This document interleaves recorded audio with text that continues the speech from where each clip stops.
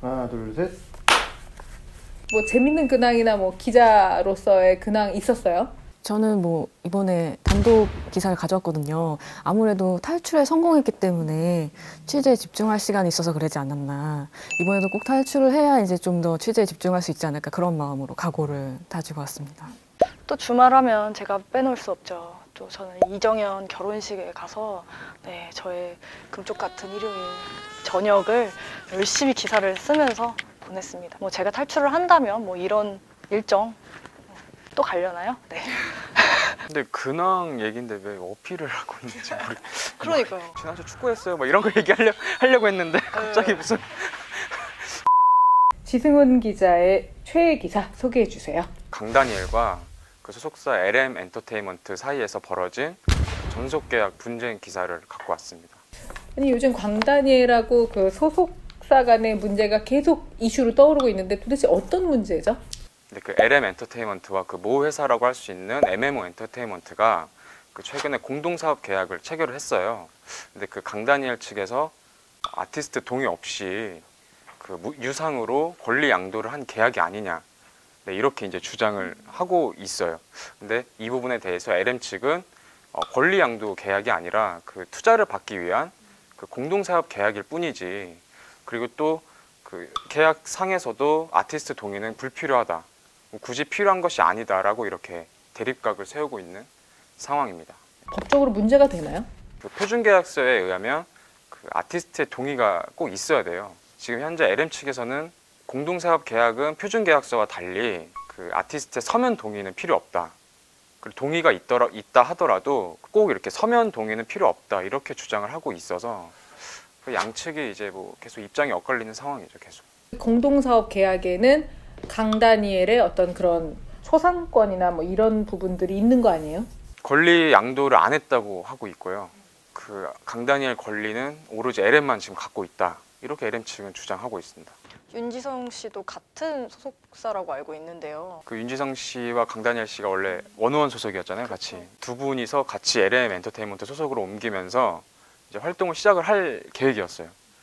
근데 윤지성 씨만 혼자 이제 앨범을 내기 시작했고 솔로로 잘 데뷔를 했는데 또 이렇게 같은 소속사였고 잘 나가던 그 두 분이 이렇게 상이한 행보를 보이고 있다는 거에 있어서는 좀 의아할 뿐이죠, 사실. 강다니엘 씨가 이제 홍콩에서 어떤 연예 관계자를 만났다. 또 뭐 엔터 투자계 큰 손이 관여돼 있다. 뭐 이런 보도를 본 적도 있어요. 지금 말씀하신 것처럼 그런 홍콩에서 어떤 모 에이전트의 어떤 여성분과 강다니엘이 손을 잡으면서 강다니엘 측과 LM이 뭐 이렇게 분쟁이 좀 시작됐다, 갈등이 시작됐다. 네, 그렇게 보고 있는 시점인데 내가 지금 LM에 요구하는 것은 계약 해지고 그 권리를 양도했냐 안 했냐 이걸 따지는 거기 때문에 이 여자와 뭐 손을 잡고 에이전트와 이야기를 나눴다 이런 거는 중요하지 않다라고 이렇게 주장을 하고 있는 입장을 네, 내놓은 상태입니다.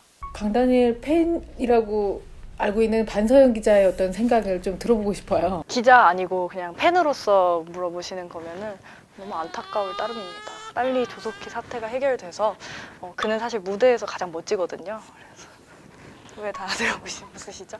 네, 무대에서 어, 좋은 퍼포먼스로 팬들에게 좀 보답해줬으면 하는 그런 마음이 있습니다. 아니 그럼에도 불구하고 지금 아이돌 차트에서도 계속 화제를 모은다고 하던데 네, 뭐 강다니엘 씨가 이런 사건에 연루가 됐긴 했지만 굉장히 팬들이 많아요. 그리고 아시다시피 원원 때 센터였기 때문에 원픽, 그러니까 첫 번째 1위를 했던 우승을 했던 또 멤버였기 때문에 그 팬덤이 어마어마하고요. 지승훈 기자는 자기가 기사를 쓰면 댓글도 꼬박꼬박 챙겨보는 것 같아요. 안 보나요? 저는 봅니다. 네. 그래야 이제 대중과 호흡을 할 수 있기 때문에. 다들 보나요? 볼 때도 있고 안 볼 때도 있고 좀 시간 있으면 보고 뭐 그런 편입니다. 응원 댓글 많이 남겨주세요. 자 이번에는 그 강다니엘 팬으로 알려진 반서연 기자. 네, 저는 고 장자연 사건의 유일한 증언자죠. 배우 윤지호 씨의 신변 보호 관련 그런 이슈에 관련해서 준비해 왔습니다. 장자연 씨의 동료 배우이자 그 장자연 사건이라고 알려져 있는 과- 사건 관련해서 지속적으로 얼굴과 실명을 공개하고 이제 증언을 하고 계시는 분입니다. 이게 불이익을 사실 많은 불이익을 감수하고 진실을 규명하기 위해서 이제 앞에 언론이나 뭐 여러 군데 나서는 만큼 사실 신변 보호가 굉장히 중요한 문제로 여겨지는데요. 어, 그런데 문제가 이분의 신변 보호가 과연 제대로 되고 있느냐입니다.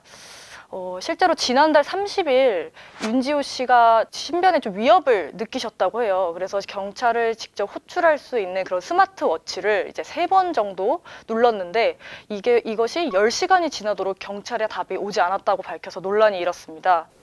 그럼 실제로 윤지호 씨가 네. 어떤 신변의 위협을 느끼신 건지 뭐 다양한 사례가 있는데요. 이번에 이슈가 된 대표적인 사례를 말씀을 드리면 일단 그 스마트워치 세 번 눌렀을 그 시점에 어, 집 주변에 뭐 가스 이상한 좀 가스 냄새, 가스 냄새가 났다고 해요. 그리고 이제 지속적으로 의문스러운 그런 의심스러운 기계음이 들리고 이뿐만 아니라 어, 실제로 환풍구나 뭐 이제 출입문, 잠금 장치가 파손되어 있는 등 굉장히 당사자로서는 좀 불안감을 느낄 수 있는 그런 그런 일들을 발견을 하고 이제 경찰에 좀 도움을 요청한 것으로 알려져 있습니다. 뭐 신변 보호를 그러면 담당하고 있던 그 경찰 측이 지금 음, 논란이 되고 있는 건데 그렇죠. 경찰 측의 해명이나 어떤 추후 조치가 따로 음. 있었나요? 일단 경찰은 좀 기계적 결함이라고 좀 얘기를 하고 있어요. 그 탓에 윤지호 씨가 이제 도움을 요청했지만 이게 112 신고센터에 제대로 접수되지 않았다 얘기를 하는데 실제로 세 번 아까 도움을 요청했다고 버튼을 눌렀다고 말씀드렸잖아요. 그 중에 한 번은 이제 담당 경찰관의 알람 문자가 갔다고 합니다. 근데 확인이 늦어서 이게 확인이 늦었다고 밝혀졌고요. 그래서 이제 해당 경찰관은 업무 소홀로 조사를 받았고 또 관할 경찰서장이 좀 직접 사과를 하는 네, 그런 상황입니다. 근데 윤지호 씨가 셀프 증인 보호도 직접 나섰다는데 그건 뭐예요? 그렇죠, 맞습니다. 되게 아이러니한 좀 상황인데요. 일단 크게 세 가지 정도로 정리를 해볼 수가 있을 것 같아요. 일단 윤지호 씨 SNS 들어가 보시면은 생방송, 라이브 방송을 계속 하고 있습니다. 생존 신고인 셈인데요. 자신이 어쨌든 무슨 일을 당했을 때 증거로 남길 수도 있고 또 이제 보는 시청자들이 어떻게 보면 좀 조처를 해주길 바라는 그런 마음이 아닐까 싶어요. 그래서 저도 실제로 좀 SNS에 들어가서 라이브 방송을 좀 시청한 적이 있었는데요. 어, 어제죠. 그 윤지호 씨가 국회 여야 의원들과 간담회를 열었는데 그 전 그리고 그 사이에서도 이제 SNS 방송, 라이브 방송을 했고요. 이제 또 이 라이브 방송 외에도 뭐 다양 두 가지가 더 있는데 음, 일단 병원에 이제 검사를 받고 본인은 자살 위험도가 없다 이런 이제 진단서를 받기도 했다고 해요. 혹시나 모를 그 위험에 대비하기 위함이죠. 그리고 이제 마지막으로는 어, 실제로 이제 국가의 지원이 있기 전에는 본인이 직접 사비를 들여서 사설경호원을 이제 데리고 다니면서 동행을 했다고도 알려져 있어요. 이제 이 그 이유를 들어보니까 실제로 장재현 사건에 관련돼서 증언을 하고 난 이후에 미행이 따라 붙었다고 얘기를 해요. 그러니까 당사자 입장에서 굉장히 좀 불안함을 좀 느낄 수 있는 상황이죠.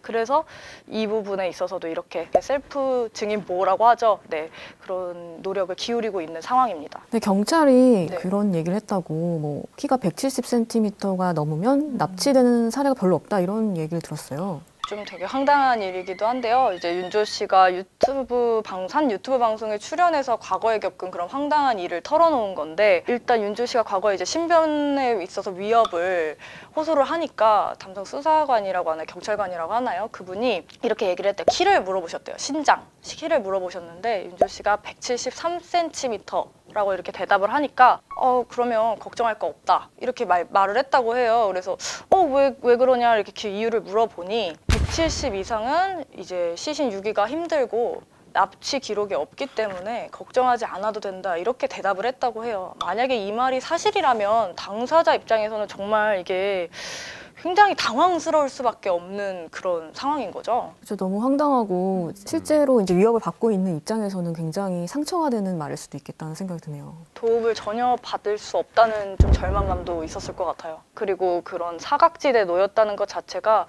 좀 굉장히 좀 분노를 불러 일으키는 상황인 것 같아요. 이렇게 이 부분은 좀 잘 해결이 되면 좋겠다는 생각이 드네요. 자, 이제 최보란 기자, 최보란 기자 최애 기사 소개해 주시죠. 저는 종영 1주년을 맞아서 한자리에 모인 무한도전 멤버들의 라이브 방송 기사를 가져왔습니다. 지난달 31일에 무한도전 종영 1주년을 맞아서 멤버였던 유재석 씨를 비롯해서 원년 멤버였던 그 노홍철 씨와 정영돈 씨도 영상으로 함께해서 더 반감을 샀습니다. 반, 반 순간 반감인 줄 알고 반가움을 네. 뭐 하는 일이세요? 지금 지승우 기자가 굉장히 반감을 사고 있어요. 근데 이 기사를 어떻게 취재하게 됐는지. 사실 이게 2월에 그 김태호 PD가 MBC에서 이제 방송 광고에 대해서 연간 선판매 설명회를 하는데 이제 무한도전 종영 1주년을 맞아서 시청자를 위한 좀 깜짝 선물을 준비하려고 한다 이런 이야기를 직접 하셨어요. 그래서 그 이후에 이제 꾸준히 안테나를 세우고 관련 취재를 하던 와중에 단독으로 정보를 입수하게 됐습니다. 어, 그 방송 중에 무한도전 컴백을 또 예고하는 그런 반가운 발언도 있었다고 들었어요. 네, 그 라이브 생방송 도중에 유재석 씨가 뭐 시청자분들이 기다려주신다면 돌아오겠다. 언제가 될지는 모르지만 노력을 하겠다. 이런 말, 말씀을 꼭 이렇게 해주셔서 시청자들이 굉장히 좀 반가움을 가졌죠.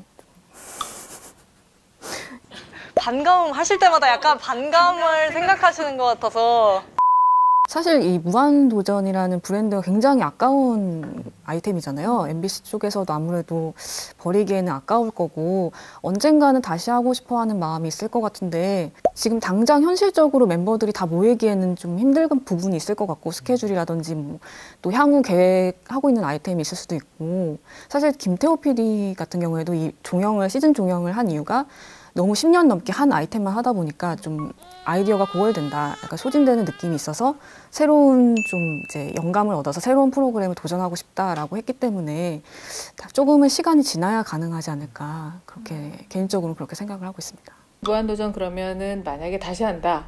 최보란 기자가 생각할 때 어떤 멤버가 빠질 것 같은가요? 댓글이나 이런 반응을 봤을 때 원년 멤버들을 되게 그리워하시더라고요.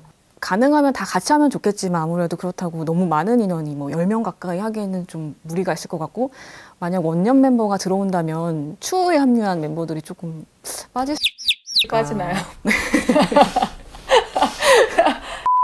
제2의 약간 무한도전이 될 만한 프로가 탄생할 수 있을지 무한도전 이제 종영 이후에도 이제 기자들과 간담회를 가졌는데 그때도 이제 새로운 그런 프로그램 하고 싶은 굉장히 마음을 되게 여실히 드러내셨고 김태호 PD가 잠시 뭐 휴식기를 가졌지만 그런 오히려 그 시간이 그런 창의력이나 어떤 자신의 소재들을 생각할 수 있는 계기가 되었다고 생각을 하고 그래서 충분히 제2의 무한도전 뭐 그런 새로운 프로그램이 나올 수 있지 않을까 그렇게 생각하고 있습니다. 각자 본인이 그래도 또 어필을 할 것들이 있으면 또 어필을 하는 시간을 갖도록 해요. 알리고 싶은 기사라서 좀 가지고 왔다는 거를 좀 어필해서 말씀드리고 싶고 늘 쉬지 않고 놀지 않고 다른 거를 해내는 사람이니까요. 연예부 기자들에서는 좀 탈출하기를 간절히 빕니다. 강다니엘 하면 지성이 아닌가 이 뭔 개소리야! 그건 좀 말이 너무 강다니엘 하면 지승훈이 아닌가 이거는 아 제가 얘기하는 건 이제 강다니엘 기사 강다니엘 기사 하면 기사. 지승훈 기자다. 어, 뭐 어필 항상 했는데 안 돼서요 어필 안 하려고 해요 그냥 뭐 팀장님 항상 네, 마음이시니까요 네, 저는 그 아까 도입부에도 말씀드렸지만 그 김태호 PD님이 직접 2월 달에 이미 말씀을 하셨던 내용이에요. 근데 그 이후에 꾸준히 매주 거의 매일 체크를 하, 해서 단독적으로 유지했다는 점과 이 라이브 방송이 자정이 넘은 시간에 했거든요. 근데도 늦, 늦은 시간까지 이렇게 체크를 해서 아침 일찍 또 기사를 작성해서 심지어 휴일인데 그러면 첫 번째 탈출 기자는 최보란. 죄송합니다. 이 순간이 되면은 내가 어 이번에는 둘 다. 둘 다 다음에 같이 출연해야 될 것 같아요. 나쁘지 않네. 어, 진짜, 진짜, 진짜 깜짝 놀랐어요. 다음에도 네. 다음에 또 봬요 알겠습니다 수고하셨습니다. 승민이 최다 출연.